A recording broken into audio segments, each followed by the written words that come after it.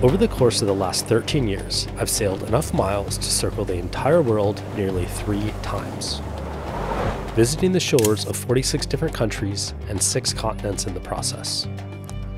I've looked out the windows of Delos and seen pristine tropical paradises, remote mountainous forests, bustling cityscapes, and just about everything in between. But I've never, ever encountered a place like this before. We just arrived to some of the southernmost islands in the Sea of Cortez, but it felt like we had landed on an entirely different planet. Surrounded by some of the most delicious turquoise water we've ever seen, and under the shadow of towering Mars like sea cliffs dotted with cacti, we woke up in our backyard of the day, ready to pull the hook and set sail to our next out of this world destination, Isla Partida.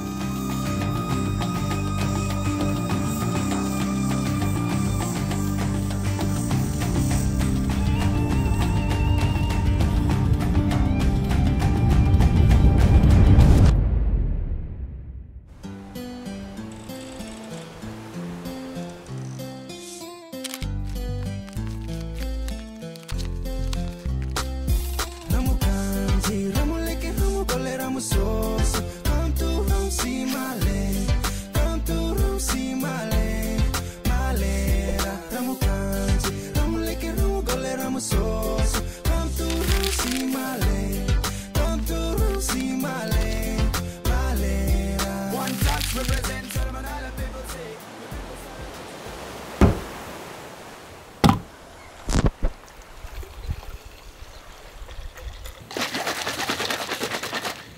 I'm happy to say that today's video is sponsored by AG1 from Athletic Greens.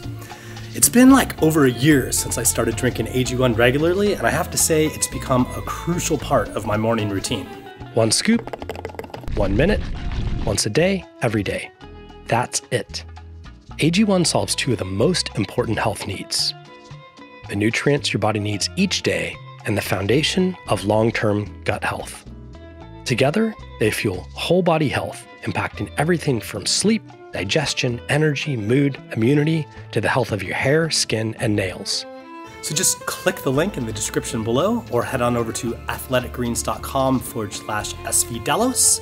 If you do, not only will you support our project, but you also get a free one year supply of vitamin D drops and five free travel packs of AG1 powder.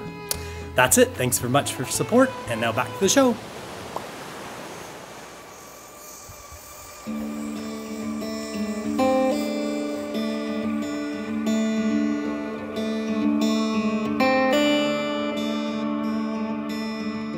Decided to head to a different spot today. We're gonna try our second anchorage. Yeah. Um, it's up at the next island up, Isla. Is it Isla or Isla? I don't know. I don't know. Whatever. I'm gonna say Isla Partida, Yeah, and uh, it's a little bit of wind. Five four knots. We're gonna try and sail in it. Four knots. You ready to sail, Nugs? Yeah. Okay. Let's go. Yeah, Calico's coming too. It's like seven miles. Short sail. Yeah, short sail day.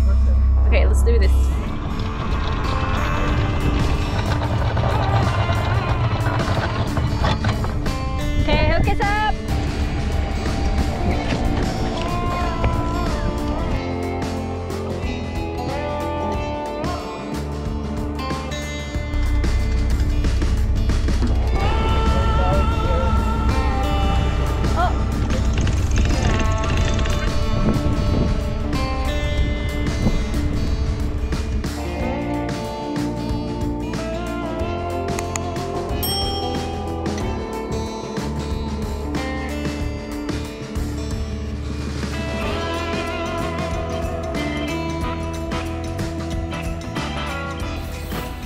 Smooth sailing. Just enough wind to keep us moving. Look at this view though. It's just so spectacular everywhere you look. I love the desert. It just feels so open. Maybe it's because I grew up in the desert in Tucson, in Arizona. There's a special place in my heart. This rate, it'll only take us uh, two hours to go five miles. You wanna? Cool is it to be able to take your sailboat from the jungle to the desert. It's Yeah. pretty amazing, right? It's pretty insane, the contrast.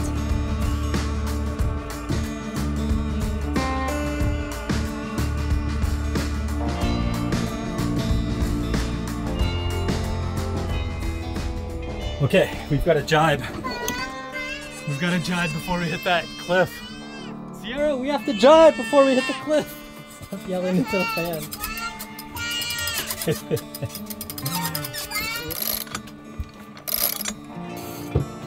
Jibing!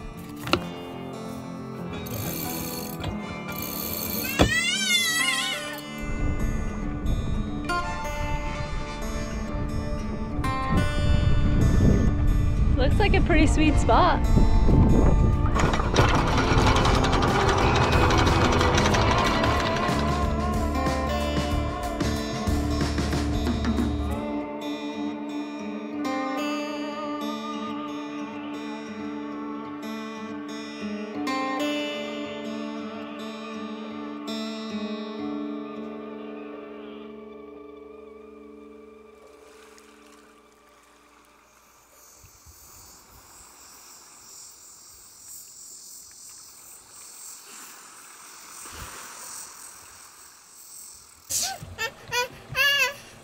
What do you want to do today, Sierra?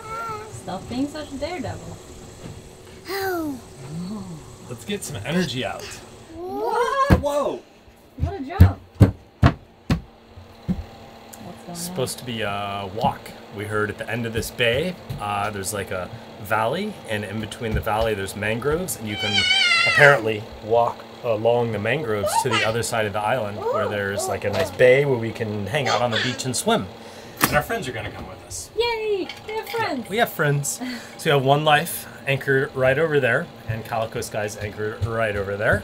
And uh, we're just gonna go hang out. Okay.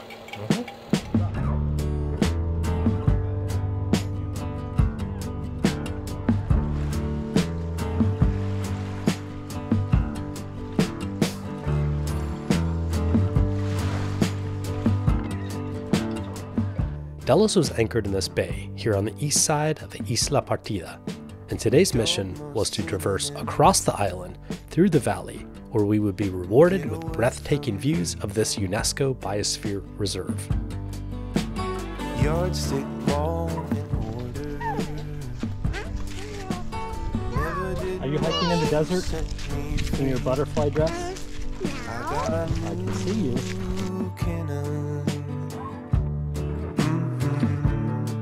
I met a wild companion. There's just something special about the desert, huh, Kaz? I know, look at this cacti. It's got like a beauty all to its own. Like that, what do you call it, needles? Is like this long. Yeah.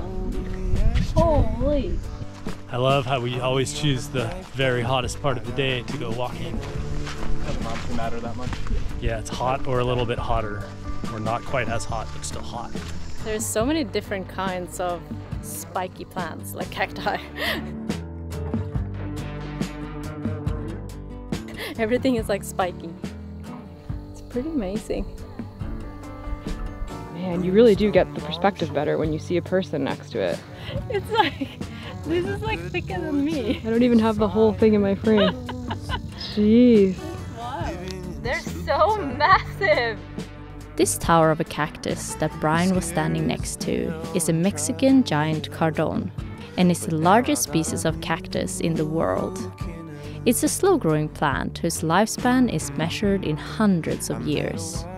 Once mature, they average a height of about 30 feet, but individuals up to 60 feet tall has been recorded, and they can weigh up to a whooping 25 tons. What is it? Crabs? They're everywhere, Sierra. On the knife blade, I got a new cannon.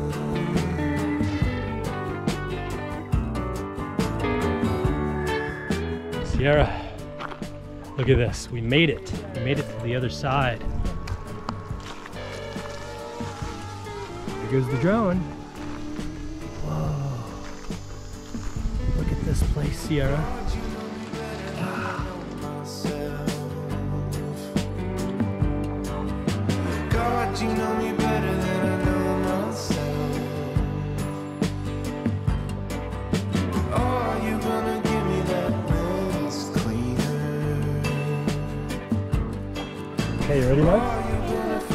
Oh, that's so refreshing. That is amazingly refreshing.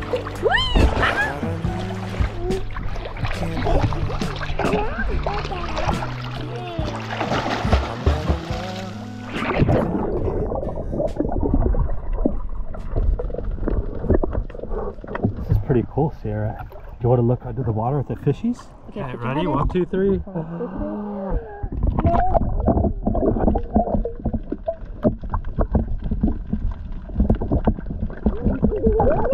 what did you see?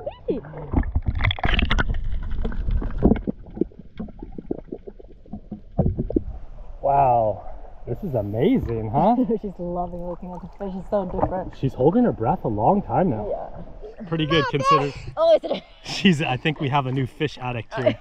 She's like, Mom, look down there. There's fish. Okay. There's a whole world down there, Nux. It's a whole it's like most of our planet actually. That Hey. was amazing. Time to hike back. What a refreshing swim. I huh? love Sierra sunshade. Sierra's got such a good little setup. I know. She's like reminds me of one of those like desert dwellers that has a little situation atop a camel. Except Yeah. I'm the camel.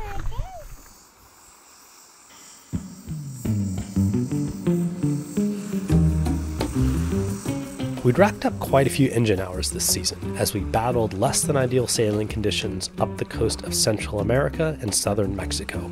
I calculated the miles we've gone since leaving uh, Shelter Bay in Panama.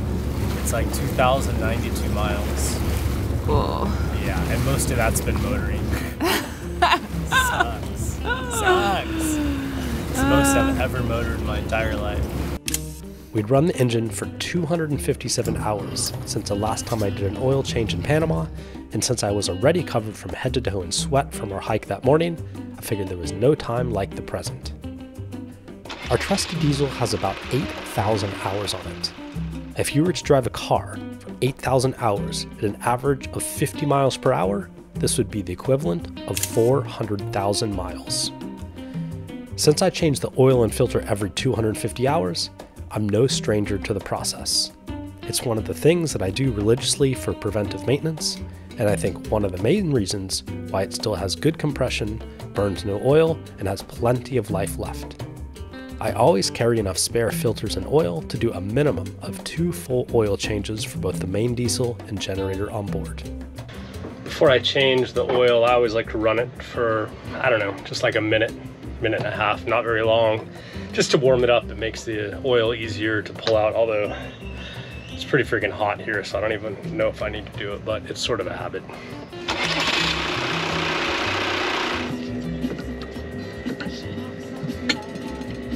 Yep, it's working. All right, I'm gonna have to use both hands. So I'm gonna put this camera down and pump the rest of this oil out. It's not really that exciting, but having a pump like this really can make the difference between it being an absolute disaster and working pretty good.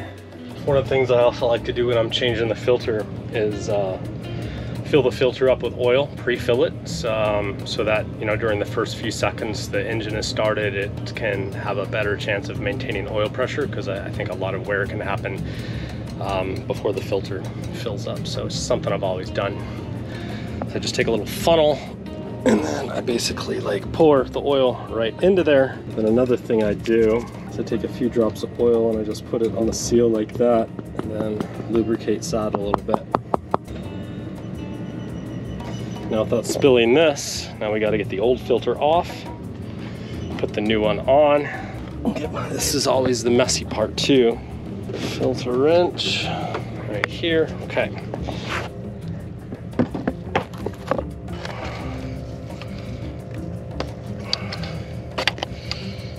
Okay, the rest will go by hand.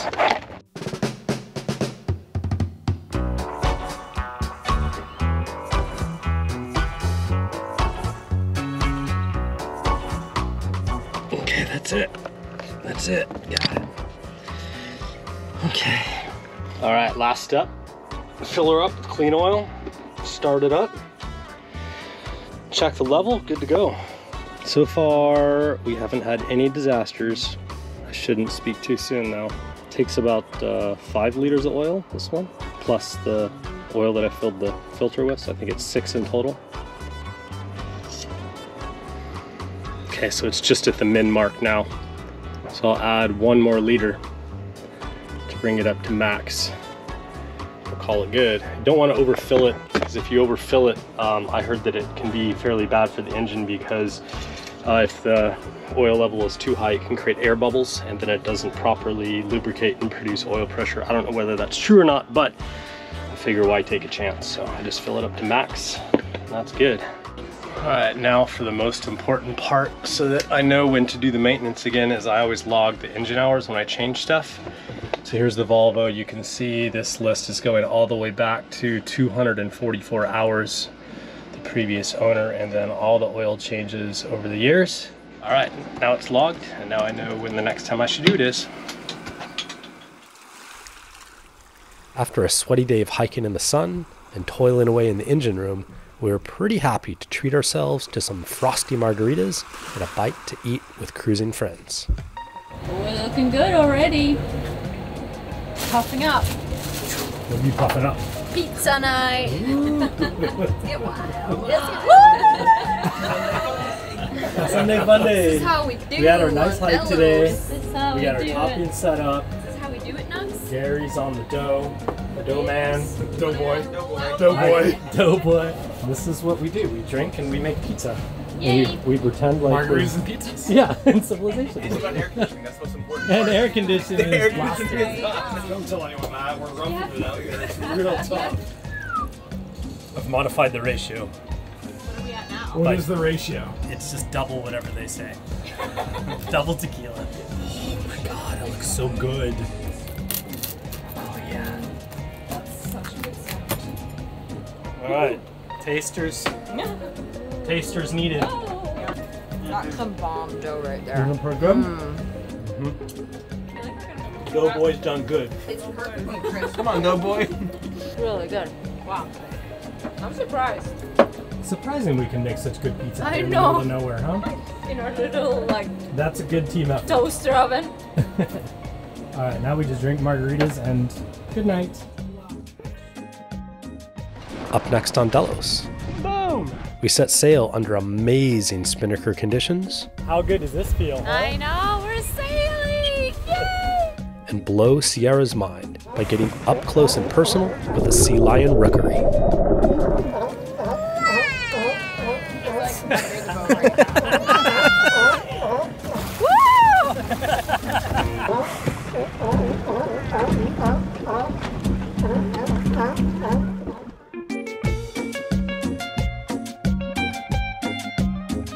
right, so this is a YouTube comment by Top Dog Josh. Top, I love that name. First of all, let me say I love this video. I don't know which video it's on, but second, I wonder if Brian misses sailing with his brother as much as I miss Brian sailing with his brother. Come back, Brady. Uh, yeah, I miss sailing with Brady. It's so funny, you know. He was supposed to come across the Pacific Ocean, and then he ended up staying ten years. Uh, a little over 10 years. And I love sailing with my brother. Uh, we had so many good, amazing memories together, and, and we're family and we still chat. Uh, but, you know, I think it was time for us to go on our separate ways. You know, we're starting a family Yeah. with Sierra, and Brady is starting his own business uh, with Alex in Lake Tahoe. Uh, and he's doing extremely well. Uh, so if you want to know what Brady's up to, you can follow him on either YouTube or Instagram or Patreon. Uh, just search on Cruisers Academy, uh, s- Cruisers, and then A C A D E M Y. And he's running a sailing school. And I'm very proud of him. He has a couple of sailboats in Lake Tahoe, and they have And a, a blue- bigger blue water blue boat boat, that they're going to sail from San Francisco down to Mexico, and they're going to be doing offshore training. Uh, So we hope to meet them too. Yeah, we're hoping to buddy boat with them, but uh, I do miss him. Hopefully, we'll get to Yeah. sail again together at some point. We will. Yeah, I feel it. That's Sweet. it. I got it. I got it. Oh, sorry.